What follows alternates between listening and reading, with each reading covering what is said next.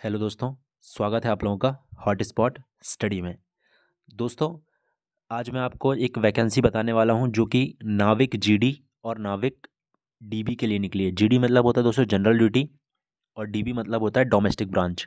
आप यहाँ पर देख सकते हैं कि यहाँ पर लिखा हुआ है, as Navik GD and Navik domestic branch through coast guard enrolled personnel test. ठीक है, ज़ीरो टू दो हज़ार तेईस का ये बैच है। आप यहाँ पर देख सकते हैं एप्लीकेशन जो स्टार्ट हो चुकी हैं छः फरवरी से स्टार्ट है और लास्ट जो है दोस्तों ध्यान रखिएगा सोलह फरवरी इसकी लास्ट डेट है, ठीक है? स्क्रॉल करता हूँ मैं यहाँ पर आपको सारी चीज़ें बताने वाला हूँ। उससे पहले दोस्तों अगर आप चैनल पे नया है तो चैनल को सब्सक्राइब कर लीजिए। यहाँ पर आपको मैं जो भी आगे वैकेंसीज आती हैं, उनकी अपडेट यहाँ पर मैं आपको डिटेल में देता हूँ। देखिए दोस्तों, यहाँ पर अगर आप इसके एलिजिबिलिटी की बात करें तो क्या बोला हुआ है कि online application are invited from male Indian citizen तो ये सिर्फ़ मेल के लिए है आपको ये ध्यान रखना है, ठीक है? और post of Navik GD and Navik domestic branch in Indian coast guard Indian coast guard जिनको नहीं पता है, मैं आपको बता दूँ, ये जो हमारे समुद्री सीमा है, उनकी देखरेख करता है पीस टाइम में, ठीक है? पीस टाइम में ये उनकी देखरेख करते हैं। जैसे कि कभी वॉर वगैरह होती है तो वो इंडियन नेवी फिर वहाँ पर आ जा, आ जाती है, ठीक है?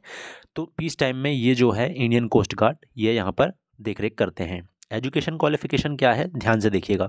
नाविक जीडी के लिए इसने टेंथ प्लस टू मांगा हुआ है। आप ट्वेल्थ पास होना चाहिए, ठीक है? और नाविक डोमेस्टिक ब्रांच के लिए आप टेंथ पास होना चाहिए। तो टेंथ पास वाले भी इसमें अप्लाई कर सकते हैं और ट्वेल्थ पास वाले भी इसमें अप्लाई कर सकते हैं। पर ट्वेल्थ पास वाले जीडी के लिए और टेंथ पास वाले डीबी के लिए, ठीक है? एज जो है अठारह से आपकी बाईस साल एज होना चाहिए, ठीक है? ध्यान रखिएगा, एज एज यहाँ पर बताया हुआ है। Navik GD and Navik DB born between यहाँ पर बताया, अगर आप एक सितंबर 2001 से 31 अगस्त 2005 के बीच में आपका जन्म हुआ है तो आप इसमें अप्लाई कर सकते हैं। और यहाँ पर देखिएगा, आपको यहाँ पर छूट भी मिली है। पाँच साल की छूट मिली है एस सी को, तीन साल की ओबीसी नॉन क्रिमिलायर जो होते हैं, उनको मिली है, ठीक है? अब हम यहाँ पे स्क्रॉल करते हैं वैकेंसीज़ की। तो वैकेंसीज़ आप यहाँ पर देख सकते हो, नाविक जीडी की जनरल में अट्ठासी पोस्ट हैं ईडब्ल्यूएस में बाईस ओबीसी में इकसठ एसटी में बाईस एससी में बत्तीस टोटल 225 पोस्ट हैं। और नाविक डोमेस्टिक ब्रांच की टोटल तीस पोस्ट हैं, ठीक है? तो ट्वेल्थ पास वालों के लिए थोड़ी ज़्यादा पोस्ट हैं, दो सौ पच्चीस, और टेंथ पास वालों के लिए सिर्फ़ तीस पोस्ट हैं।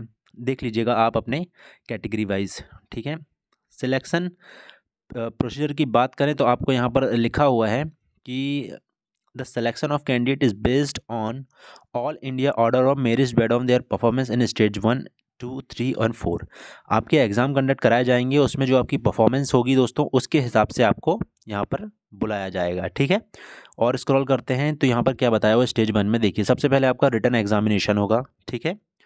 डॉक्यूमेंट वेरिफिकेशन सारी इन्फॉर्मेशन दी हुई है कि आपको क्या क्या चीज़ें लगेंगी, और हम इसमें मोटी मोटी चीज़ें देख लेते हैं। देखिए अगर आप नाविक जीडी से अप्लाई करते हैं तो आपको सेक्शन वन और सेक्शन टू देना पड़ेगा, ठीक है?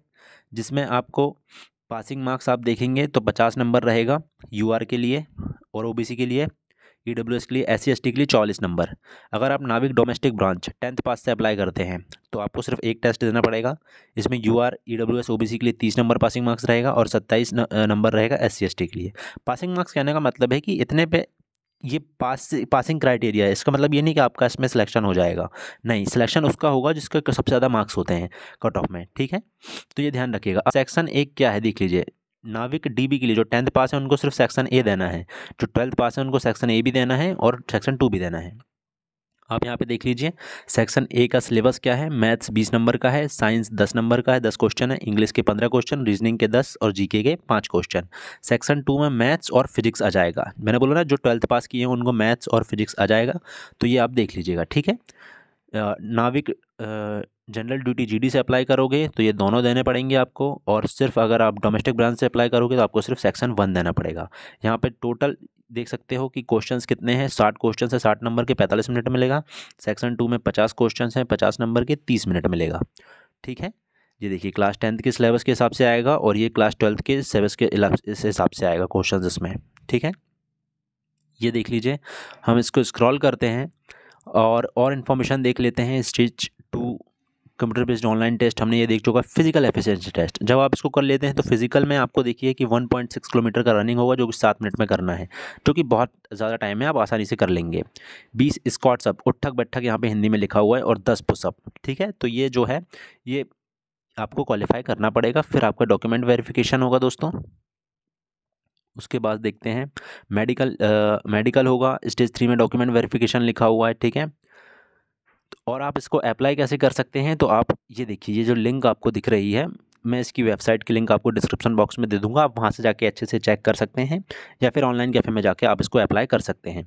तो ध्यान रखिएगा लास्ट डेट जो है, सोलह फरवरी है तो उससे पहले आप इसको ज़रूर अप्लाई कर दें।